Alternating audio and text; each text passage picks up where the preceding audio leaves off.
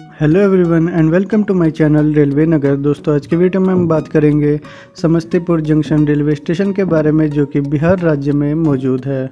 दोस्तों यह one category का रेलवे स्टेशन है जो कि ईस्ट सेंट्रल रेलवे जोन के समस्तीपुर रेलवे डिवीज़न के अंदर आता है, जो कि मुख्य रूप से बरौनी, गोरखपुर, रक्सोल और Jaynagar line Barauni, Samastipur, Muzaffarpur, Hajipur line Samastipur, Muzaffarpur section Barauni, Samastipur section line पर मौजूद है।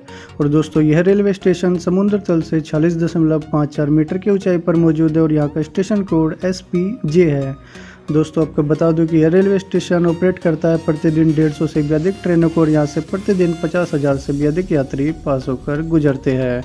दोस्तों, यहाँ पर प्लेटफॉर्म्स की बात करें तो यहाँ पर प्लेटफॉर्म्स की संख्या सात है। नंबर ऑफ़ फोल्टिंग ट्रेनों की बात करें, यानी जो ट्रेनें यहाँ से पास होकर गुजरती और यहाँ पर रुकती है, उनकी संख्या 136 है। और जो ट्रेनें यहाँ से अपनी जर्नी की शुरुआत और यहाँ पर अपनी जर्नी का अंत करती है, उनकी संख्या मात्र बाईस है। दोस्तों, यह रेलवे स्टेशन देश की राजधानी दिल्ली समेत देश के विभिन्न हिस्सों से सीधा कनेक्टेड है।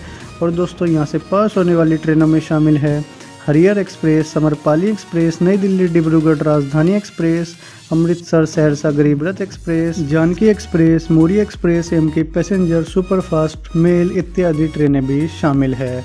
और दोस्तों, यह रेलवे स्टेशन बिहार के उन चुनिंदा रेलवे स्टेशनों में से एक है, जो कमाई में सबसे आगे है। दोस्तों, अब बात करते हैं इस स्टेशन की हिस्ट्री के बारे में। तो इस स्टेशन को खोला गया अट्ठारह में और अब यह रेलवे स्टेशन पूर्ण रूप से इलेक्ट्रीफाइड है।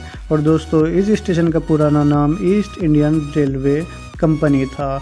और दोस्तों, इस स्टेशन पर साफ़ सफ़ाई के साथ साथ अन्य वह सारी सुविधाएँ भी उपलब्ध है, जो कि एक आम यात्री को अपनी यात्रा के दौरान चाहिए होती है। तो दोस्तों, आज की वीडियो में बस समस्तीपुर जंक्शन रेलवे स्टेशन अगर आपको मेरी ये जानकारी इस स्टेशन के बारे में पसंद आई तो मेरी वीडियो को लाइक कीजिएगा शेयर कीजिएगा और चैनल पर नए हैं तो चैनल को सब्सक्राइब कीजिएगा। मिलता आपको एक नेक्स्ट वीडियो में एक नई इन्फॉर्मेशन के साथ। टिल देन सभी को जय हिंद, जय भारत।